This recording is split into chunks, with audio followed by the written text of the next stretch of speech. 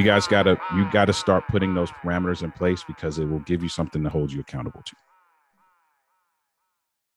Because if not, life kicks in. It's not like y'all just sitting around. Like life is happening. There's other stuff happening outside of ha- having this conversation, right? And so once that other stuff kicks in, slowly but surely, these kinds of things get pushed to the back burner. And it's just a natural thing. It happens organically because we're living a whole entire life. So that's why we got to be intentional about about about the follow through and setting yourself up for success by setting some parameters for you to be held accountable to. Because here's what I don't want to do. I don't want to continue to add things if we're not if we're not dealing with the things the the things that we started with, right? Because progressively, I'm going to be honest with you and this is not to scare you. I'm just going to be honest with you.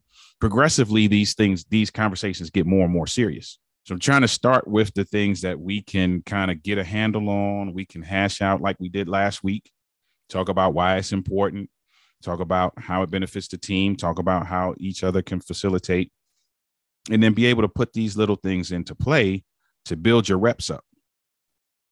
So when we have the bigger conversations about, you know, more more crucial emotional needs or where is the relationship going or how are we going to parent because that's right in your face right now those kinds of things right so you want to get your reps up to be able to have those conversations a little bit more efficiently because they're not as tough. They don't feel as tough anymore because you're not starting there. You're starting here with creating a date night or dealing with, you know, some preliminary baby stuff or that, you know, that kind of thing.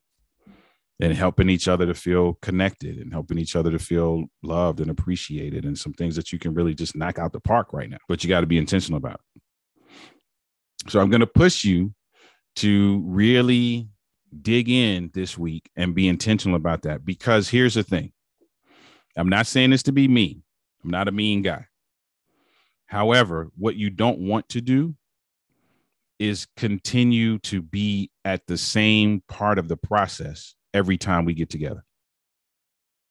Because what that's going to do for you eventually, what that's going to do for you, it's going to discourage you. Because once you begin to feel the positive effects of progress, that's going to be the thing that motivates you to keep going. So I'm so I, I want to push you this week to really kind of dig in around those three things because I, listen, I'm gonna be honest, they're three simple things. I'm just gonna call it how I see it. They're three simple. They are three simple things. You got to set up some things that you can hold yourself accountable to, but you got to be intentional about setting those things up, and then you got to be, you know, then it's about maturity and follow through. I'm gonna keep it real simple for you. I'm gonna keep it real simple for you. Just try. Just try doing the things that the other person wants. I mean, you you don't got nothing to lose. At this point, you don't have nothing to lose. You don't have anything to lose by trying to figure out some ways to be connected, by beating her to the punch, and she's expressed you know several several instances what makes her feel loved what makes her feel appreciated that's not to say that doesn't have any responsibility in it she most certainly does and for both of you just you don't have anything to lose by just having a conversation and just being vulnerable with each other and asking this question what what do you need from me and then whatever the other person says, just be like, all right, I'm, you know what? I'm a, I'm gonna do it. Have to set yourself in a place where you're like, okay, from this moment on, this is the direction that we're moving in. And we're going to consistently do and say what needs to be done so that we continue to face this direction. Some of it is just like, man, I'm just going to do it and just reap the benefits just to bookend this, going back to the beginning, I'm challenging you all this week to not come back to the next session saying that you have not worked through some of this stuff and that some actionable items have not been put in place and that some action has not been taken. And you just gotta, it's just about just just manning up and womaning up and just saying, listen, this is what we're gonna do, man. This is the kind of relationship we want. How do we get to it?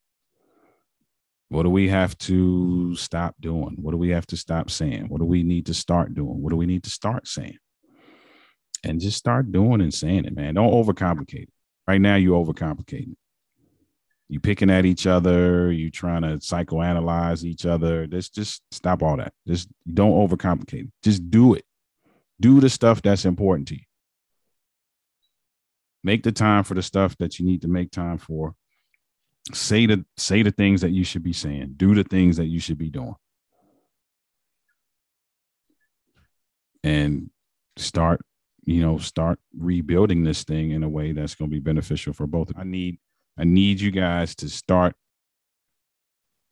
today figuring out what a game plan Next is. time let's have a conversation about how great that felt as opposed to what needs to be done.